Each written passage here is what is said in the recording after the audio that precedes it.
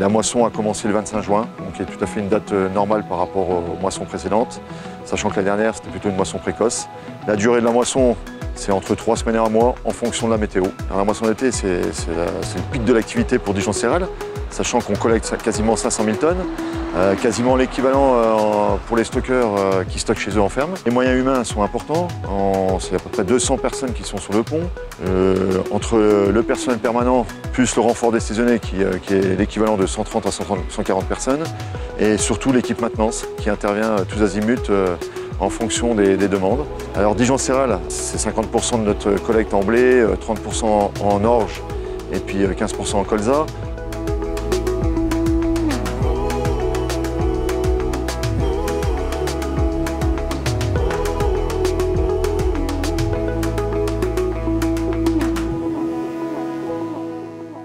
Euh, la moisson de Bourgogne du Sud a démarré le 19 juin dernier. Elle doit se terminer euh, avant la fin du mois de juillet. On aura réceptionné environ 370 000 tonnes de marchandises dans 43 silos. Pour nous aider, on aura euh, embauché 80 saisonniers et on aura environ 60 camions qui feront des allers-retours entre les silos de collecte et les silos de report. La coopérative Bourgogne du Sud reçoit la quasi-totalité de sa collecte euh, au moment de la moisson. Donc ça fait une grosse intensité de travail euh, en très peu de temps. Donc la spécificité euh, cette année, c'est qu'on devrait avoir une qualité très correcte et puis des rendements qui sont normalement quasi exceptionnels.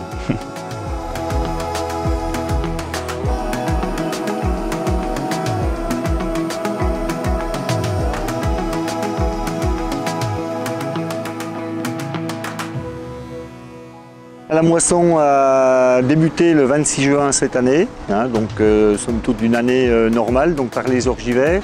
Euh, à Terre-Comtoise, c'est 21 silos qui sont ouverts pour cette moisson d'été. La moisson d'été représente environ 70% de notre collecte globale. Ben, c'est un moment essentiel, bien sûr, pour notre coopérative où on doit être très disponible.